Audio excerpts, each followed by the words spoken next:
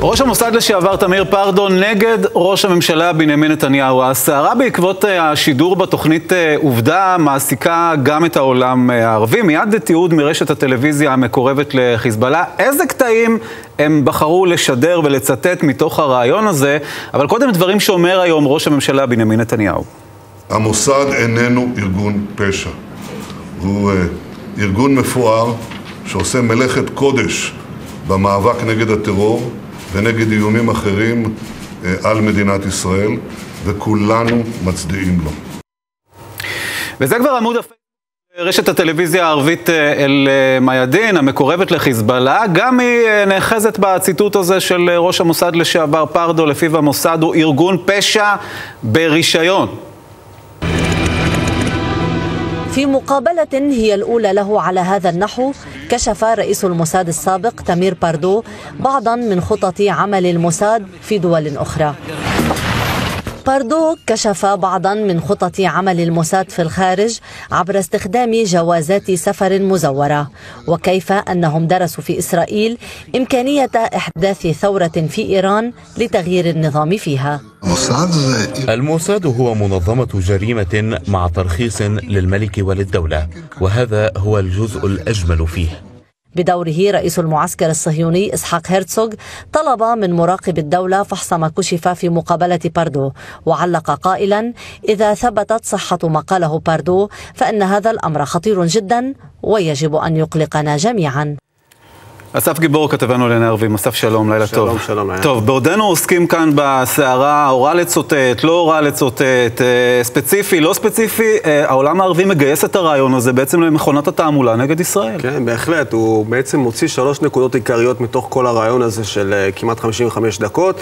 הנושא, הנושא של המוסד הוא ארגון פשע, כמו ששמענו שתמיר פרדו אמר. ישראל רוצה להפיל את המשטר באיראן, זו הנקודה השנייה.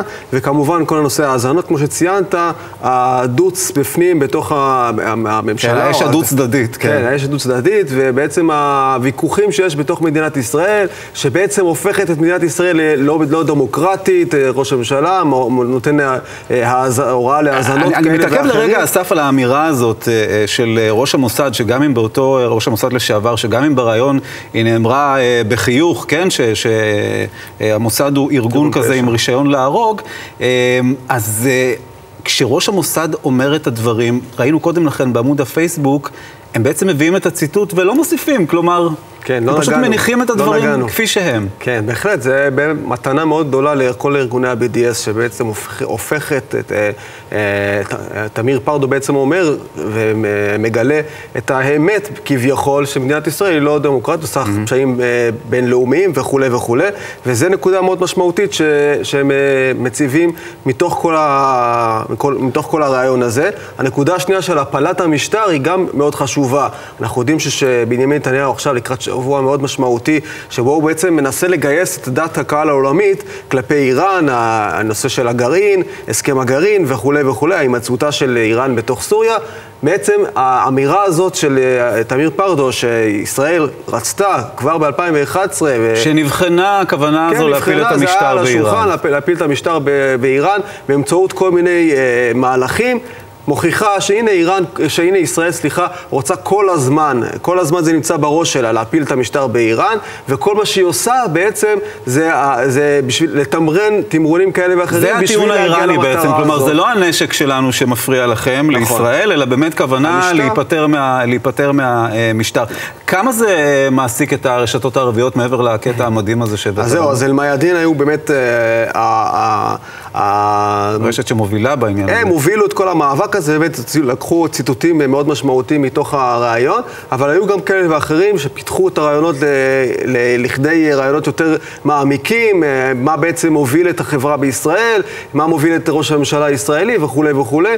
גם רשתות חברתיות כמובן הובילו את השיח היותר, פחות, פחות רשמי בעניין הזה, אבל בהחלט מעסיק את התקשורת הערבית. כשהכל בעצם מוביל, מתקיים במקום מקביל לאותו קו, שאלה הדברים שאומר ראש המוסד הישראלי, כן? ואנחנו יודעים גם מה מעמדו של הארגון הזה נכון. בעיני העולם הערבי. נכון, זה בעצם, זה, זה בעצם האויב מה... הגדול. וזה כן. מה שאמרנו בהתחלה, לא נגענו, מה שנקרא, כל הציטוטים הם שלו, אנחנו רק אה, מפרשים את ה... מה, מה, מה עומד מאחורי אותם ציטוטים, אבל בהחלט פרדו סיפק להם את הסחורה באופן הכי ברור שיש.